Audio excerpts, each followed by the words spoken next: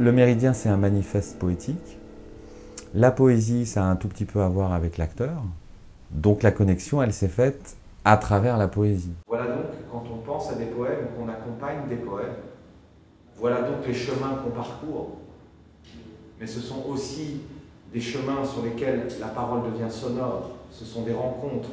Ça pouvait être aussi un manifeste, entre guillemets, pour l'acteur, ce texte de Ceylan. Parce que tout ce qu'il dit sur le poème, c'est des choses qui, moi, me parlaient euh, très fortement en tant qu'acteur. Ceylan, ils font de la poésie sur la respiration, sur ce qu'il appelle la renverse du souffle, de l'expire à l'inspire. Ça, c'est des choses extrêmement concrètes, extrêmement, je dirais, euh, qui sont liées au corps et qui, et parlent forcément à l'acteur, puisque c'est son outil. On est euh, touché par des acteurs quand on voit à travers l'acteur, je dirais, une personne. Une personne. Une personne qui respire. D'immatériel mais de terrestre. Quelque chose de rond qui revient sur soi en passant par les deux pôles. Je trouve un méridien.